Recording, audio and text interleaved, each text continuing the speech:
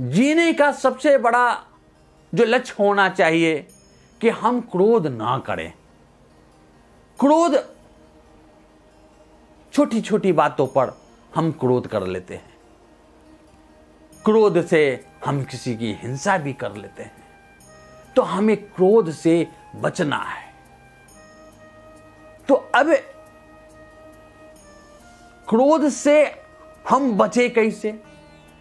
अभी सवाल एक तो ये उठता है, हम क्रोध से बचे कैसे? तो क्रोध के प्रति हमेशा हमें सजग रहना है। जब भी क्रोध आए तो आपको उसे रोकना है, उसे देखना है। यही जो देखने का विधि जो है, वो भगवान बुद्ध बतलाते हैं। क्रोध को आने ही नहीं देना है, अपने अंदर बुराई भी है, अच्छाई भी है। तो बुरे धर्मों को अपने अंदर नहीं ले जाना है। हमेशा जागरूक रहना है। जागरूकता की बात कहते हैं। हमेशा जागरूक रहना। वही जो है, जो स्मृति भगवान बुद्ध का, सम्यक स्मृति कहा गया। तो सम्यक हमेशा स्मृति मान रहे। हमेशा जागरूक रहें। तो चार प्रकार के जो है, भगवान बुद्ध ने प्रयास बतलाया है। एक प्रयास है कि जो हमारे अंदर जो अकुशल धर्म है, बुरे धर्म है, बुरे विचार हैं, प्रयास ये करना है कि वे बुरे विचार हमारे अंदर न आवे।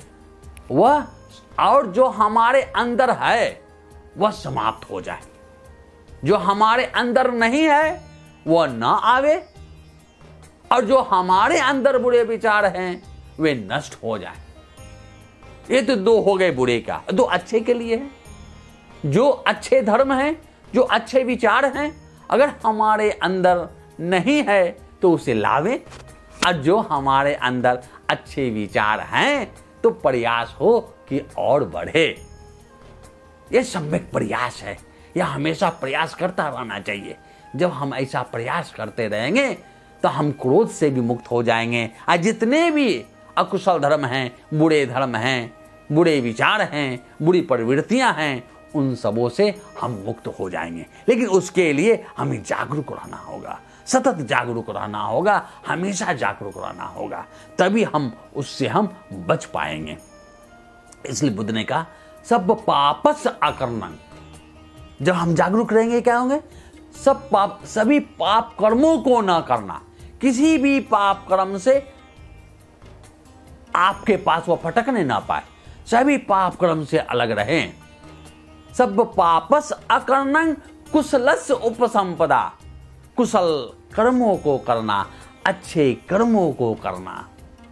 सचित प्रयोद पनंग और चित्त को प्रसन्न रखना, चित्त को शुद्ध रखना। एतंग बुद्धान शासनंग यही बुद्धों का उपदेश है।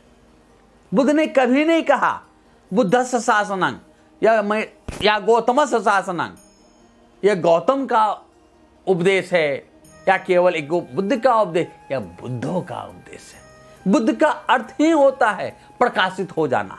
जो कोई भी प्रकाशित हो गया है, वही बुद्ध है। आज जो गुभ कोई भी प्रकाशित हो गया, जो कोई भी बुद्ध होगा वह यही बोलेगा कि आप अकुशल कर्म मत करो, पाप कर्म ना करो, केवल पुण्य का संचय करो और मन को प्रसिद्ध रखो।